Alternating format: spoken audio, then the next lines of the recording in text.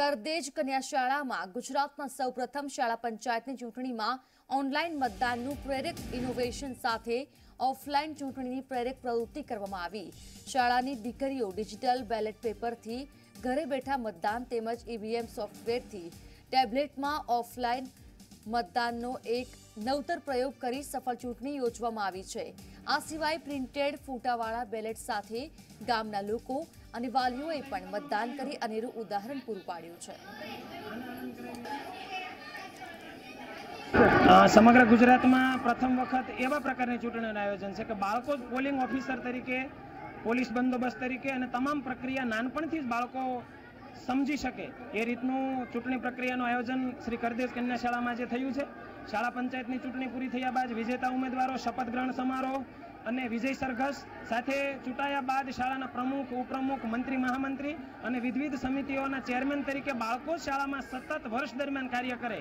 એ રીતનું નેતૃત્વ પૂરું પાડવાનું કામ, લોકશાહીની પદ્ધતિ બાળકોને સમજાવવાનું કામ શ્રી કરદેશ કન્યા શાળામાં ચૂંટણી પ્રક્રિયાથી થઈ રહ્યું છે.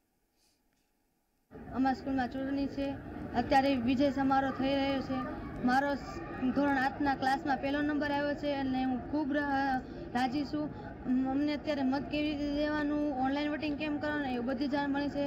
અને મોટા થઈને અમને અઢાર વર્ષ પહેલાં તો, પછીના તો મત દેવાય નહીં મોટી ચૂંટણીમાં. પણ અમારા સ્કૂલમાં એવું અમને સ્કૂલમાં એવું થયું છે કે અત્યારથી અમને આવડી જાય કે મોટા થઈને કેવી રીતે ચૂંટણીમાં ભાગ લેવો અને કેવી રીતે મત દેવું.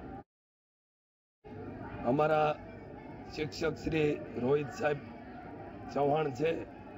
એ લોકોની ખૂબ જ સારી મહેનત છે અને ચૂંટણી પ્ર- પ્રક્રિયા કઈ રીતે થાય એ બાળકોમાં સમજણ આવે એટલે કરજે કન્યા શાળામાં શાળા પંચાયતની ચૂંટણી યોજવામાં આવી છે. તો કઈ પ્રક્રિયામાંથી પસાર થવું, કઈ રીતે મતદાન કરવું, કઈ રીતે એના શપથ ગ્રહણ કરવા એ સારામાં સારી ગોઠવણ કરી છે.